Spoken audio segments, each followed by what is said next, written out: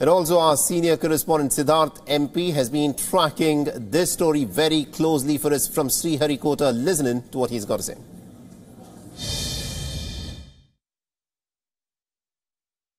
We're coming to you at a historic moment. A journey, a historic journey by an Indian spacecraft is just about to begin. The countdown is now ending. And here you can see behind us the liftoff of India's largest and heaviest rocket, the LVM-3 vehicle. This is a 642-ton rocket that's lifting off.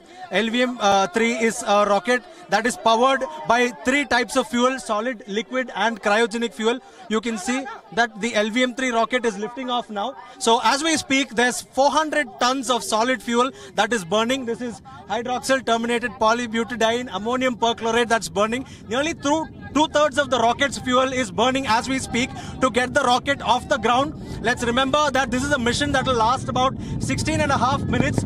The rocket is now giving away its characteristic engine roar for almost an 8 kilometer radius around Satish Dhawan Space Center. You can hear this engine roar of the solid motors and the solid motors are meant to get the rocket you know off the ground and uh, you know away from the denser layers of the earth's atmosphere and thereafter it uh, you know goes on to the next stage and the second stage engines light up which are liquid engines they have about 110 tons of fuel in them and after that it will finally be 25 tons liquid hydrogen and liquid oxygen that will light up.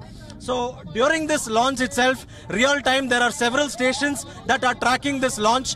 Stations in Port Blair are tracking this launch. Stations uh, in Brunei are tracking this launch. All of these stations are towards the east of India. So as this rocket flies eastwards, um, you know, this vehicle is being tracked real time by multiple stations. And in the later phase of this uh, mission, once the spacecraft is placed around Earth orbit, there will be so many other Earth stations of NASA, the European Space Station, all of them, and even ISRO will be tracking this spacecraft as it circles the Earth at very high speeds of close to 28,000 kilometers per hour. Let's also remember the fact that, uh, you know, this mission will take um, a landing, lunar landing mission will take as much as six weeks to complete.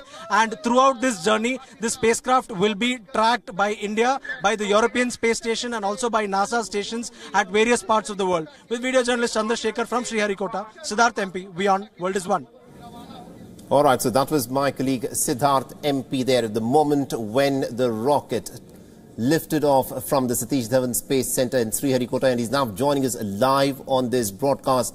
Siddharth, we just saw the report that you'd filed a little while back where the rocket Chandrayaan 3 just lifted off. It was a successful, clean liftoff. But now begins the important and crucial journey. India is attempting a soft landing for a second time on the surface of the moon.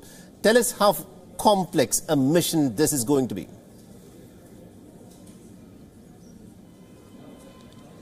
Thank you, Saleh. Uh, let me start by telling you that uh, this is a complex mission, but ISRO has almost completed 90% uh, of this mission in its previous two attempts. Let's bring into perspective Chandrayaan 1 and Chandrayaan 2. In its maiden attempt in 2008-2009, ISRO ensured that its small spacecraft weighing just about 1,300 kilos could successfully enter lunar orbit in its maiden attempt. This was uh, quite a very rare feat and a great scientific achievement. This is 2008 we are talking about, almost 15 years ago.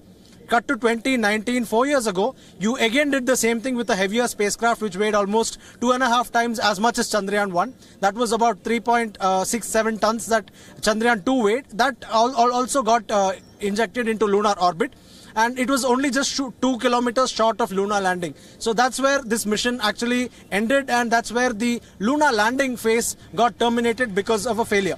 But let's keep in mind this mm -hmm. mission is complex on various fronts. One, uh, we weigh, uh, you know, uh, our original weight on Earth. So we have gravity, uh, right. the gravitational force that keeps us weighing what we weigh.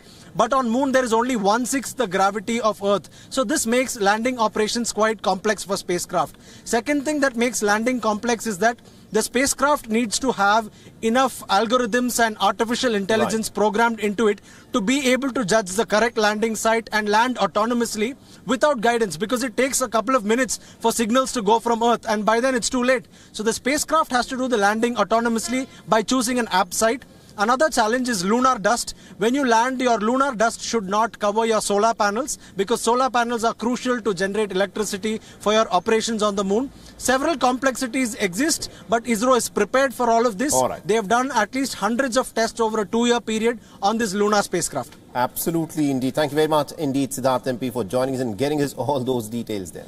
WION is now available in your country. Download the app now and get all the news on the move.